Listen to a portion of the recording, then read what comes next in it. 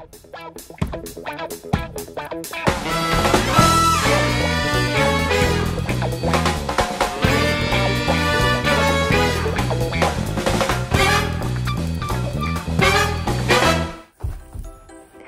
you know what day it is?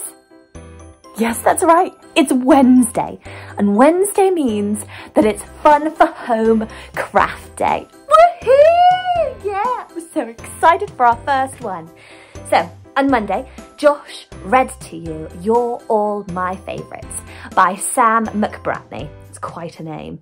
And this story was about family and how families are all different and come in so many different shapes and sizes.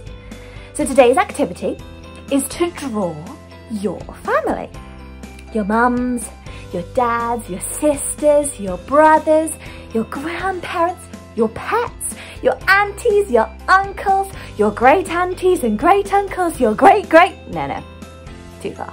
But you know what I mean, all your family.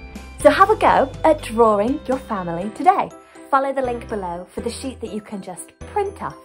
If you don't have a printer or um, you can't access it for whatever reason, just have a piece of paper, draw a frame and draw your family inside. It's so simple.